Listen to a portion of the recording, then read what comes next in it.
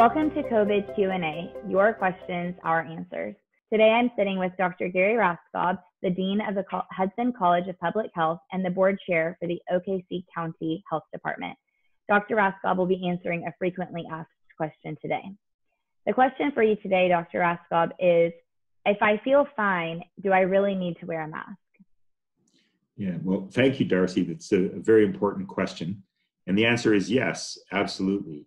Because the real issue with COVID 19 is the ability of this virus to be spread by individuals who do not have symptoms and never develop symptoms. We call that asymptomatic individuals, or by individuals who are pre symptomatic. That means they are infected.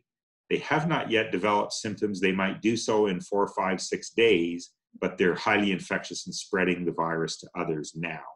And so we never know, each and every one of us, even though we're feeling fine, may be a carrier of the virus and have the potential to spread it to others. And that's the real core reason why wearing a mask is very important in helping protect our community from spread of this virus. Awesome. Well, thank you so much for your time and thank you all for tuning in to this week's COVID Q&A.